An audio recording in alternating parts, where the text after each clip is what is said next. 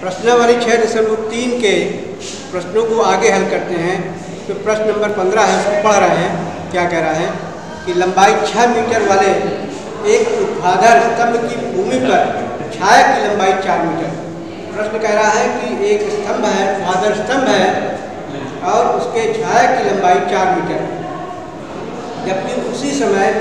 एक मीनार की छाया की लंबाई अट्ठाईस मीटर। मीनार की ऊंचाई के कीजिए प्रश्न कह रहा है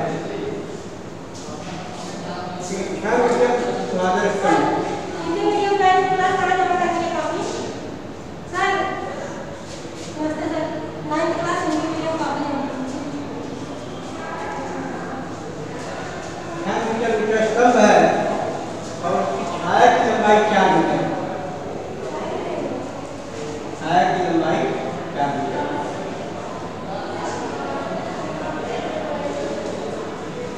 अब ध्यान रखना चाहिए कि जो छाया है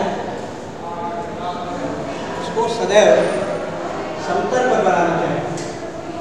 अगर तल है तो छाया आपकी तल पर ही बनेगी ऊपर नहीं बनेगी अब इन्होंने कहा है कि छह मीटर बादल स्तंभ की छाया की लंबाई चार मीटर और उसी समय एक मीनार की छाया की लंबाई मान लेते हैं इसके बगल में एक मीनार है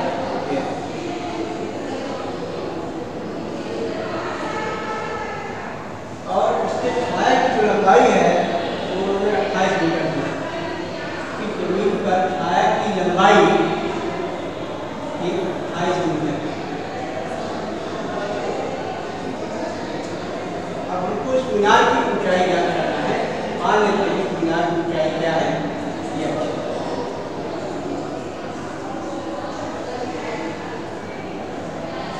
मिला दें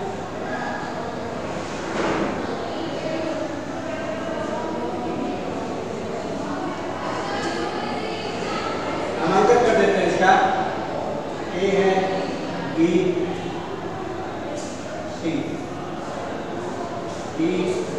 ई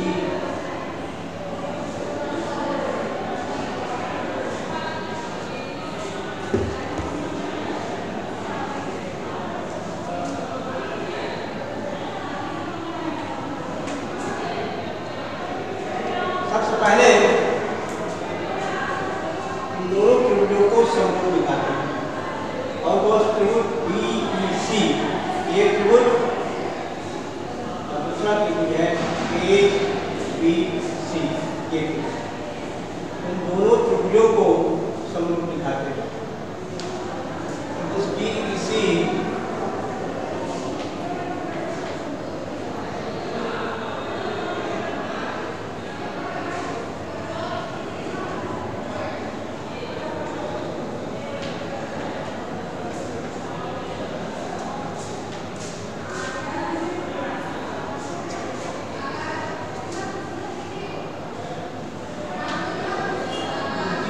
सी का त्रिभुज A B C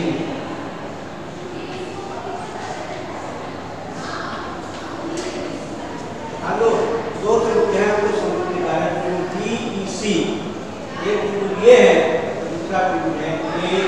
B C सबसे पहली चीज़ जो बराबर है वो है कोण डी ई सी कोण डी ई सी बराबर कोण ए बी सी ये कोण इस कोण के बराबर है क्यों क्योंकि दोनों नब्बे इसके कोण डी ई सी बराबर कोण ए बी सी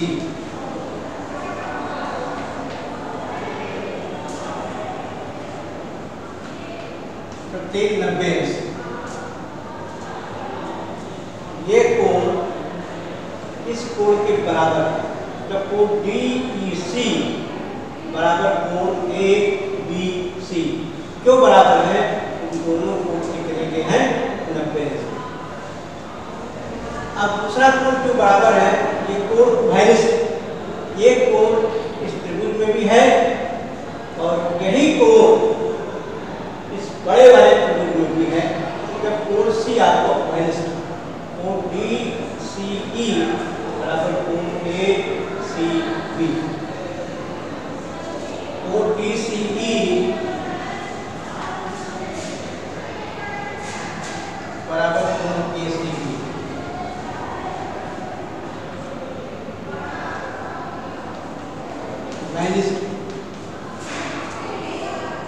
अब इन दो त्रिभुजों पे इस त्रिभुज का और इस त्रिभुज का दो कोण बराबर ये कोण माइनस है और ये कोण इस कोण के बराबर तो यदि इन दो त्रिभुजों के दो कोण बराबर हो तो तीसरा कोण अपने आप बराबर हो जाता है। क्योंकि दो ही कोण को यहाँ निरूपित कर रहे हैं। एक कौन से समरूपता लगा कोण कोण समरूपता से। अर्थात कोण से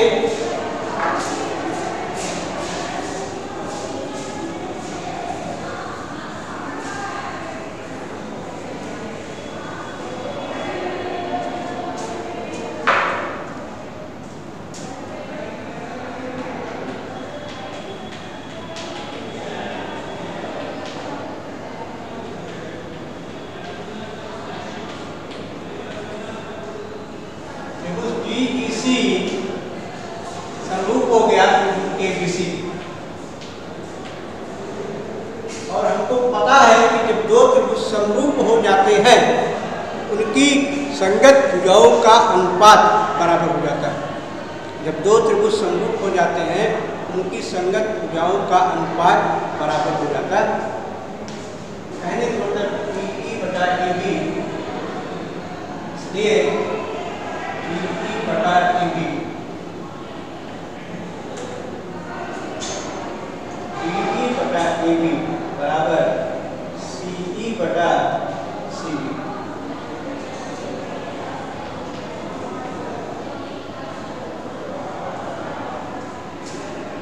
DE का मान छः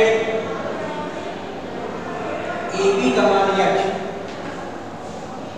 CE का मान चार CB का मान क्रॉस मल्टीप्लाई करें। इसको इससे गुणा, इसको इससे गुणा। चार गुणा यह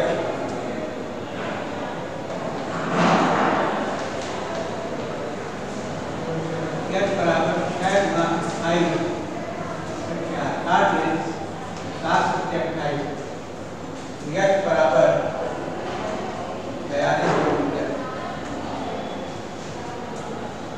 मीनार की ऊंचाई बराबर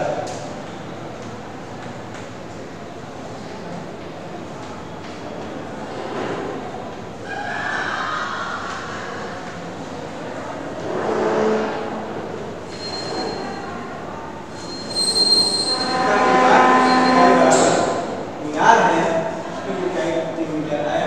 बयालीस मीटर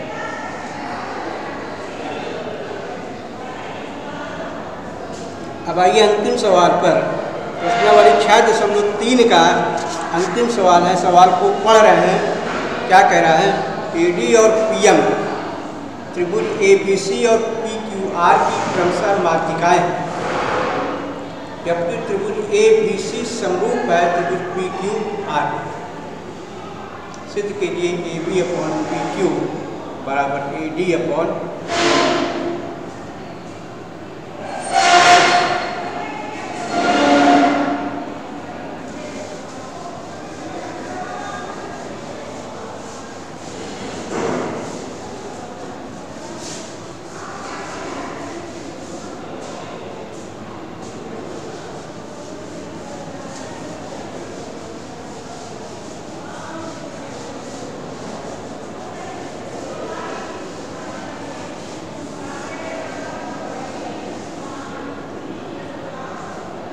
सवाल को पढ़ रहे हैं रहा है कि ए डी और पी एम त्रिभुज ए बी सी और क्यू आर की क्रमशः माध्यिकाएँ एक त्रिभुज है ए बी सी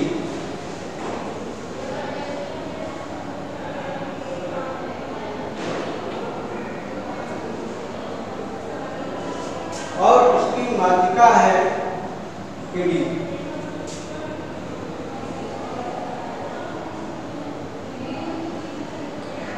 और दूसरा त्रिभुज है पी क्यू आर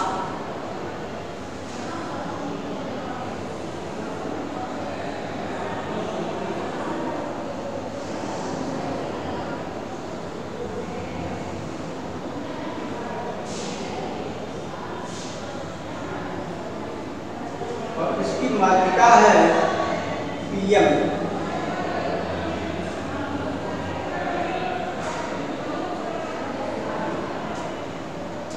इसकी है पीएम। और प्रश्न कह रहा है कि त्रिभुज ए पी सी समरूप है त्रिभुज पी क्यू? आर प्रश्न क्या दे रखा है? और है सिद्ध करने वाला सवाल है। करते हैं। है किया है ए बी सी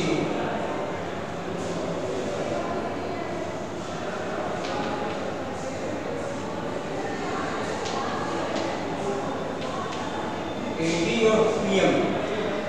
क्रमशः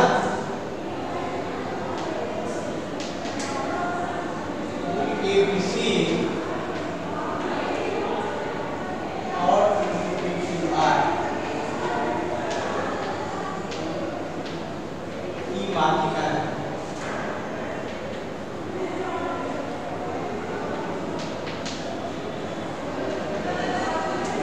तथा ए बी सी समरूप है P Q R A B C ये समरूप है पी क्यू आर पी प्रश्न में ही दे रखा अब हमको सिद्ध करना है A B upon P Q सिद्ध करना है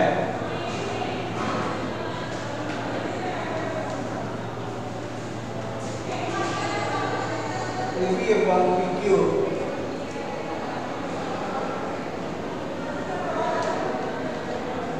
बराबर A D upon P M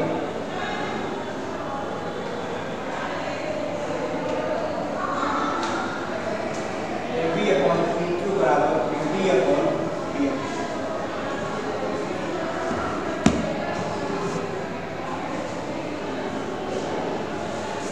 A B upon P Q का अनुपात बराबर है A D upon P M एक अनुपात एक बराबर अब इसको कैसे सिद्ध करें वो आपको बताते हैं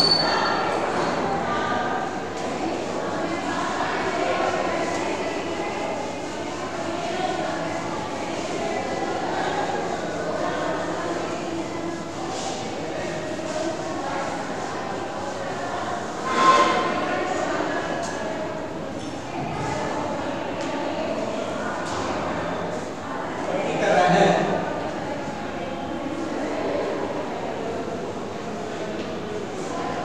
क्योंकि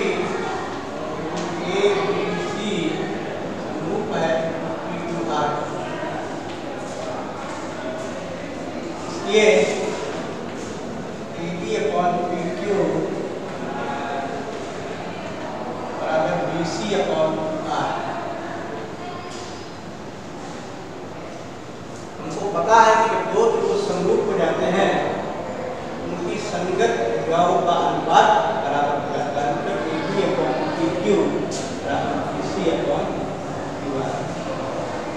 प्रश्न कह रहा है कि ए जो है, त्रिभुज की मात्रिका है। और मात्रिका की विशेषता है कि भुजा को के मध्य बिंदु पर काटता है उसको दो बराबर भागों में बांट देता है। तो बिंदु डी या एडी जब माध्यिका है तो बिंदु डी बीसी का मध्य बिंदु इसी तरीके से पीएम जब माध्यिका है तो बिंदु एम क्यू आर का मध्य बिंदु है। तो डी जब बीसी का मध्य बिंदु है तो बीडी का दुगना जो है बीसी के बराबर। इसी तरह एम जो है क्यू आर का मध्य बिंदु है क्यू एम का दुगना जो है क्यू आर के बराबर। यानी मतलब AB अपॉन डी इसी जगह टू PD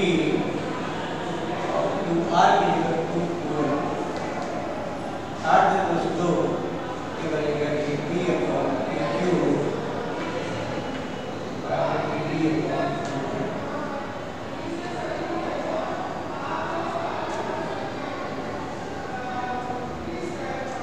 क्या करें इन दोनों त्रिभुजों को समरूप दिखाते हैं कौन कौन से त्रिभुज ए बी डी ये त्रिभुज दूसरा त्रिभुज है P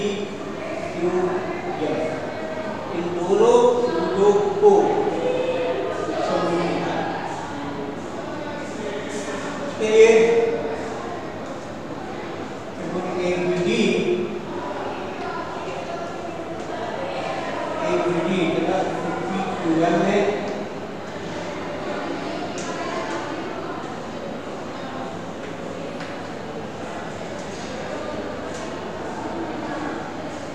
A B upon P Q सबसे पहले की कोण बी कोण क्यू के बराबर क्यों बराबर है क्योंकि दोनों त्रिभुज पहले से ही समरूप और जब दो त्रिभुज समरूप होते हैं तो उनके सभी संगत कोण बराबर होते हैं। जब दो त्रिभुज समरूप हो जाते हैं, उनके सभी संगत कोण बराबर हो जाते त्रिभुज A B D A P D इस त्रिभुज में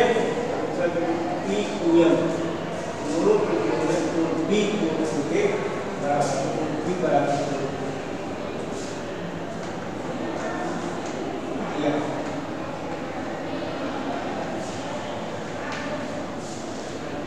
दूसरी चीज़ A B upon P Q बराबर B B upon Q M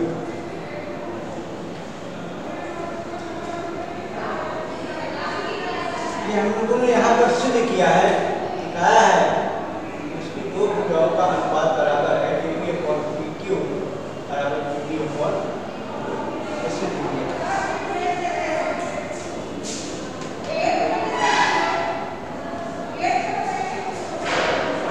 अपना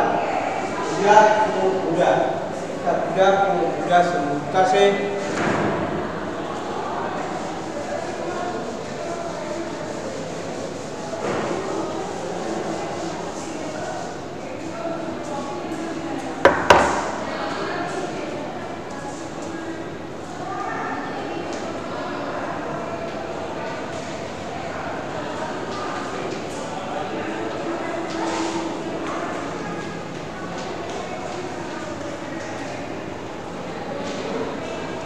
को पूजा समूहता से एक विधि हो गया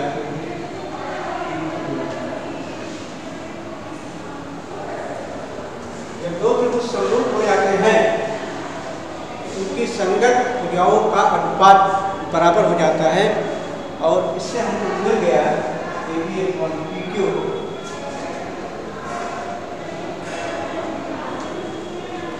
बराबर ए डी अपॉन पी